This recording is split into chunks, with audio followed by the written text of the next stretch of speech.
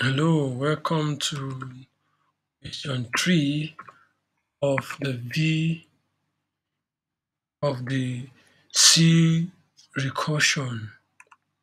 Okay, so the question 3 says write a function that returns the factorial of a given number. The prototype is here. This is the prototype we have already included in the header section. Make sure you have date there on your header section.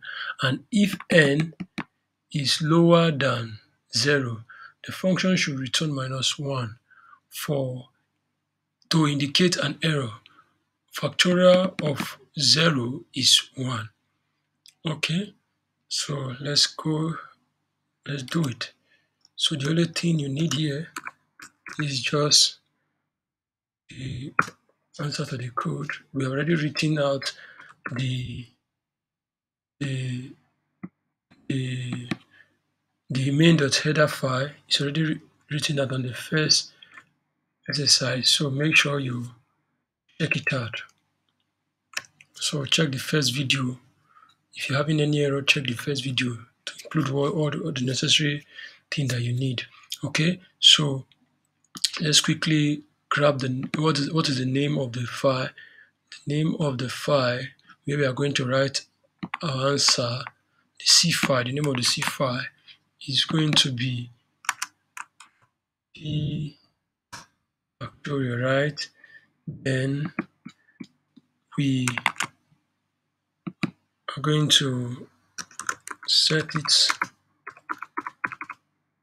home. Hope you can see my screen very well. Okay.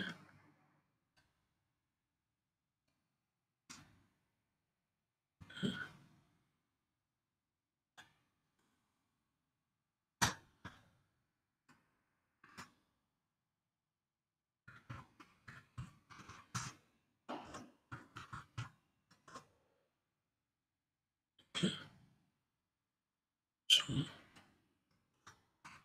that's it. Higher screen. Boom. Then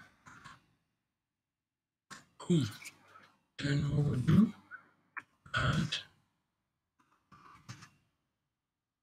three. Okay. Then you commit.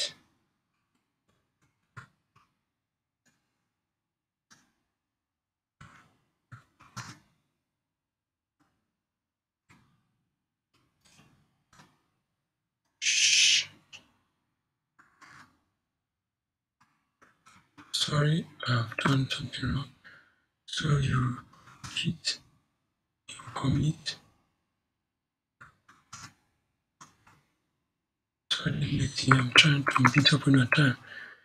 Okay. Um,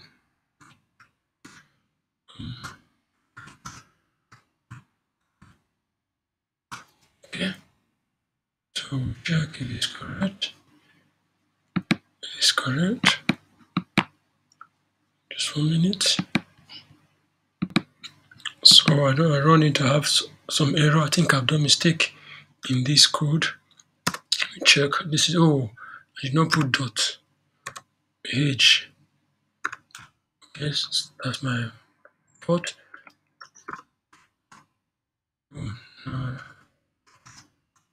yes h dot oh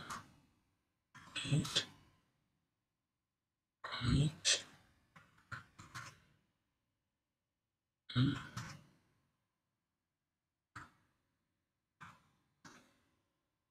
okay.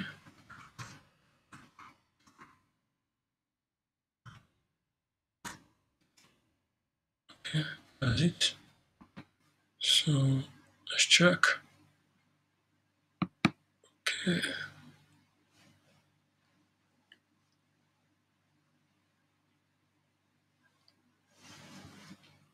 correct. Very good. It's correct. So that's all. Subscribe and share. Thank you